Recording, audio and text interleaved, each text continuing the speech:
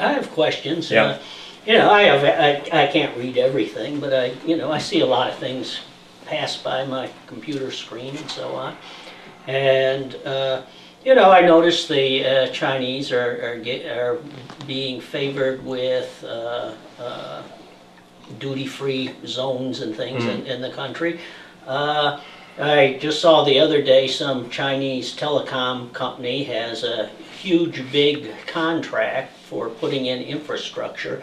I think it's in, in the Great Neck area of Michigan. I, I did, see- I did see, somebody else probably. And, same uh, person you said know, that. uh, then the other little thing that comes to mind is, you know, there was this big thing about, uh, you know, that we uh, collateralized the uh, debt that, that uh, the Chinese hold, uh, you know, several tr- Hmm. uh, trillions of, two, two or three trillions of dollars. And uh, there was a big denial, right? And then the other night, I wa- I watched a uh, one wonderful uh, uh, video of uh, Lindauer, who uh, was the back channel that exposed that everything about Iraq was a complete lie. We could have had everything. I mean, they, we, we could have been selling them a million cars made in America to Iraq each year because Saddam Hussein so badly wanted to cut a deal that uh, he was willing to give us everything we want, including oil privileges and this and that and so on. It was all a, a, a lie. And so, you know, if that's all a lie, why can't, you know, Hillary be all a lie? And I mean, would that surprise you if Hillary ever lied to you?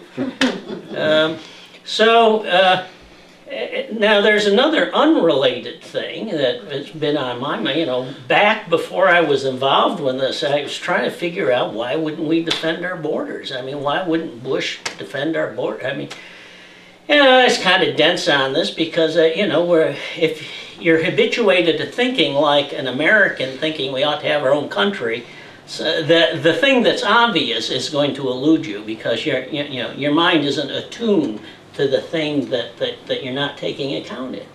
And the thing where we- don't take an account of is the, agen- the real agenda is, all, is something different. Uh, uh, finally, it dawned on me that if reality doesn't make sense, there must be uh, something somewhere that makes sense out of it, right? In the case of immigration and not ever doing anything about the uh, borders, I, I realized, well, if, if the uh, real policy is enlargement, uh, the American, North American Union or something like this, you give the people a fait accompli, right? Uh, you give them the democratic uh, fact that you've already been enlarged, and then, then the political form, well, you know, will, it will have to follow. You know, it will follow because of feet move, uh, walking to the polls, right? And so, you know, with the Chinese thing, I, I think maybe the answer uh, may lie elsewhere. The, the reasons why they're being favored, the, the reason why the, the debt thing is, is going on, is because there's another agenda somewhere. And uh, I have my own speculations, but I wonder if, if, if, uh, if what I've said here just now, if, if you have any, any uh, thoughts uh, what what what may be really happening here. What's really happening here isn't you know it, we, we don't have the real explanation or it hasn't been spoken out yet. Well, I'll, I'll uh, say a couple introductory things. First of all, um, uh, my area of specialty, or specialization is Russia and, and Eastern Europe primarily. I've, I've had to work the Middle East when they've needed um, people to work that area, but my, because of my languages and all, Russia and Eastern Europe are my specialty. So I, I won't presume to address, you know, the, the China area. I'm not a China analyst. I, I can tell you that my friends, former colleagues who are China analysts are, are concerned about some of the same things. A buddy of mine sends me the stuff on the, that freeze uh, economic zone up in Idaho, I think it is. Um, I saw the item on uh, the, the communications network. Um, Yeah, I, I think all those things are of concern um, from a national security standpoint also. Again, I'm, I'm not a specialist in that. I, you know, I, I can tell you what I've researched and what I know. Um, I'll tell you that ICLEI links, when I when I saw this China connection, I, I I searched uh, China on the ICLEI website, you can do it too. And one article they linked to, in addition to that China Climate Leadership Academy that, um, you know, that's fully funded, uh, just as an aside, that organization that sponsors that China Leadership Academy um, gets about 10 to 11 million dollars in the last fiscal year uh, overall, but through about three and a half million went to their China programs. So we're helping to fund some of this stuff. Um, another aspect of that that I didn't mention is that the contacts on the China side for that climate leadership program, again, where we're sending two dozen people, the main Chinese point, point of contact um, is a member of something called the China Reform Group, something like that. It sounds democracy and uh, you know liberty, equality. Anyway, uh, it turns out that's um, basically a, a subset of the, the uh, Chinese Communist Party. Even though it sounds like it's uh, democratic and good, uh, they're they're very much affiliated with the uh, the Chinese Communist Party. Uh, so there are other. I've looked into some other links like that. I, I won't pretend to be a China analyst. ICLEI also links to an article uh, called China: uh, Rich Should Pay to Fight Climate Change, and it was an article about a Chinese official saying that um, the developed countries should pay one percent of their GDPs to help China and other uh, developing or less developed nations with uh, climate environmental issues. So I thought, okay, if, I'll tell you what my take is, and again, I'm not an expert on China, but I see this as one, I, I suspect the Chinese are not spending a lot on their environmental issues, yet they're, you know, I mean, just from everything I read, it's kind of a basket case. I see pictures of meetings, you know, everybody happy and all that, but um, I wonder how much they're really spending on it. And the other, and so there's, that they're not putting money into it. You know, our taxpayer dollars are going to send people over there where I suspect they will be exposed, probably even subtly, to Chinese propaganda about, say, a, big issue like Taiwan or just what China's all about, or do they look at China favorably?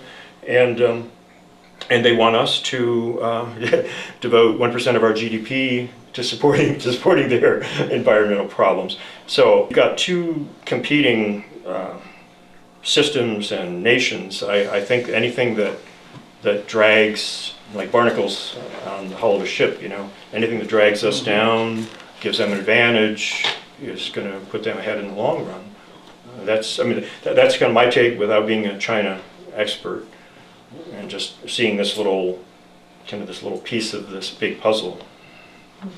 So, yes. Um, This is not really a question, but I just wanted to share this, uh, like a data point that kind of contributes Mhm. to the, the strategic, um, or what might be the strategic objectives of China. I was talking to a friend of mine up in Mount Jackson, his wife is uh, Hispanic and works with a lot of the uh, Hispanic groups here, and and immigration is a topic.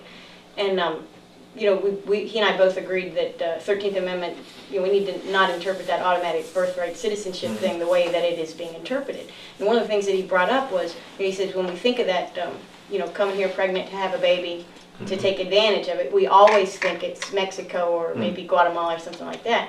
And he says, um, out in Hawaii and um, California and, and the- particularly the western coast Mm. cities, he says, and, and there's a large Hispanic population in, in California, but he said what they see is Chinese oh, parents.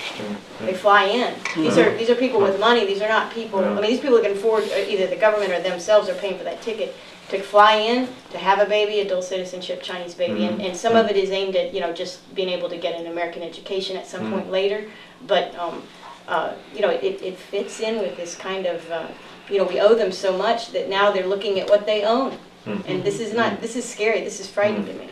I, now that you mention it, I heard about birth houses or something, I think it was out in hmm. California. I can't remember if they were talking about any particular you know, never- ethnic or national yeah. group, but. I've never seen it in the news at all, and, Mm. and I've never really researched it, but this is what, when we were talking about the Thirteenth Amendment and, and type, sort of structural issues that kind of invite this illegal immigration or this, this process, and he Mhm. pointed out to me, uh, the big, huge thing going on right under the radar. I mean, people, Mm. people out there in hospitals know what's happening, but it's not something that Americans recognize when we think about, um, you know, what's happening demographically. Mhm. Now, so again, that's sort of aside from the area that I've, you know, Yeah, that it's it's a- come up for a me. data I point. think there's reason for concern, but I, you know, I've tried to stick to where I've done research and can speak to it with some, some authority, because I've looked at the, you know, the- the documentation and Yeah. feel comfortable speaking about it. But if there's anybody interested, uh, in getting stuff like this, I think, I think this, the information I'm talking about from, from a national security standpoint can be useful in an area where there's a, a strong uh, Department of Defense presence or other US government uh, presence, especially if the facilities are all sensitive, and doing sensitive work. Um, I think it can be used to start prying, you know, that lo- location away from ICLEI, kind of raising a red flag about the the membership and, um, you know, bringing an issue, you know, coming at it from a different standpoint that I think can be very effective where there's a, a strong US government presence. That's, that's the way I see it. So, sure, Um, Several questions. okay. Uh, The Virginia Project for Peace, are you familiar with it at all? No, Um, It seems to be a growing problem in uh, the college community. Um, They, if you get in on their uh, webpage, um, uh, you go to their basic principles, it may be right, uh, may as well be right out of uh, uh, the manifesto. Uh, I mean, it's one thing right after another. They were a principal in the group that attacked Bush at uh, Jefferson's home at Monticello when he had the, um, the swearing in probably, the swearing in ceremony, the, uh, yeah, the uh, nationalization ceremony. Yeah, the one guy that uh, did get escorted out with his fall mount, um, and never got arrested, but he got escorted out, uh, was the leader in the group. Now, I haven't seen his name connected with leadership since, but, uh, Well, there's, um, I started to look into, there's this, as I mentioned, there's this organization called the Wayside Center down in Faber, Virginia. And they're linked to uh, something similar in Tennessee. Uh, The guy from the Wayside Center, I I have a- somebody on video at one of their, you know, their opening uh, weekend talking about it's nice to have a place where radicals can get together and feel safe. Um, So I think they're promoting a radical agenda. Um, I've started to look at some of the, uh, the photographs from some of their training sessions they do. Uh, You know, they talk about primary and secondary targets, uh, you know, maybe for demonstrations or, you know, yeah, protests. they But, have, but I, I think this is all linked together. And now I'm starting to move into that area by looking at some of the Occupy Charlottesville and elsewhere protests, Richmond and stuff. yeah, they've got a group I think it's all linked together. connected with Mary Baldwin here in Staunton. Yeah, I, I think it's Also- all connected, and I think they Twitter, if you start looking at some of the Twitter things, I don't tweet, but I I'm looking at some of the tw- Twitter, Twitter feeds, because that's how these people are communicating real time about what's going on, and like I said, I'm looking at some of the tactics from, from uh, Oakland and elsewhere that they used or plan to use against the police, and uh, things like improvised weapons and stuff that they might, um, might potentially use in a, you know, in a conflict with the police, if the police go in to clear them out, so. My tweets should all be in capital letters. So, anyway, They tell me to stop shouting. I don't want to step on Um, Phil's, Phil's time, but I mean, if there are any questions, I'd be glad. to- And One again, I other, try to, I try uh, to thing. speak on what I, what I know Do you personally. have um, an email address Yeah, I- I or guess some way? Dave- Okay, Dave can I- I'll do- speak to that in, in a minute, and Okay. uh, we got a sign-up sheet for that. And uh, since you're eager, uh, you can be the first one to get it on Charles's list, and please pass that around. So I, I, I try to get the information to people who can take advantage of it, especially if they're, um, you know, if they're dealing with sustainability and in particular ICLEI membership in their, uh, in their city or county.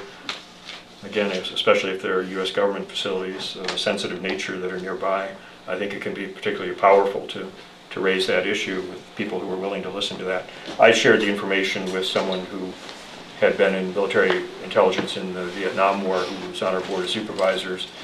He eventually voted against, um, uh, against ICLEI membership. He voted to withdraw from ICLEI. I don't know whether what I said made any difference, but it was a little bit unexpected, so, uh, you know, I, I'm not gonna claim that as a success, but at least I Staunton's spoke out. already involved in it. Um, I sent a letter to uh, uh, Mr. Owen uh, and asked a response from all the city council members on how much they were involved. I never got a, a response from any of the city council members. I forget, is Staunton a member of ICLEI? Hmm? Is Staunton a member of ICLEI?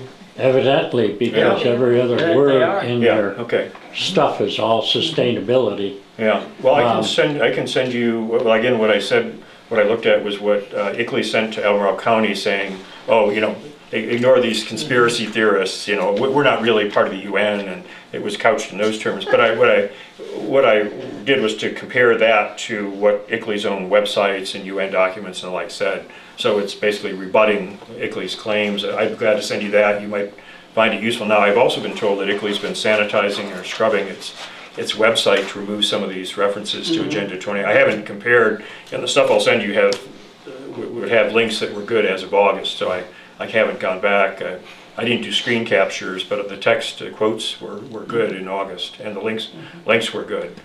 And So that's, that's what I have to say about the material I can send you.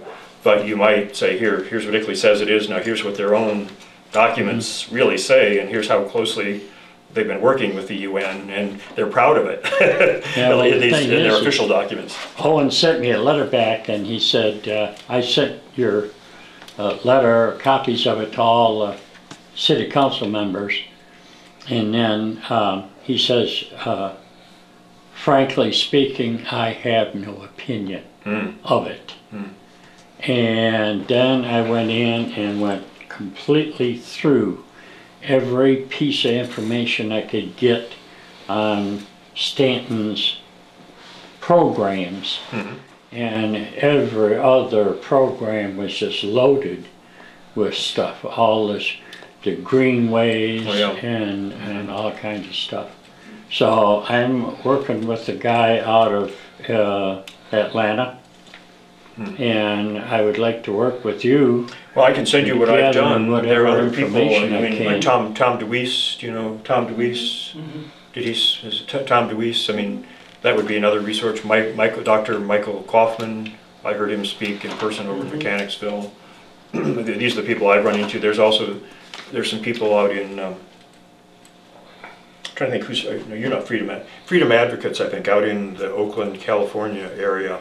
Their, their, their website is, um, is a wealth of information, uh, and very, very good, everything from radio, you know, programs where they're talking about these things to documents. and And I've traded my information with them too. So I, I can give you some of my contacts as you explore this, and you'll, you'll find that there's a network of people who are all concerned about the same That would issues. help. If that's it, I would thank you, thank you for your attention.